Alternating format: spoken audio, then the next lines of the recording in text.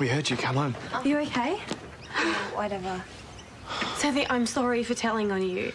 Some friends you are. Well, I'm glad they did, young lady. We were worried about you.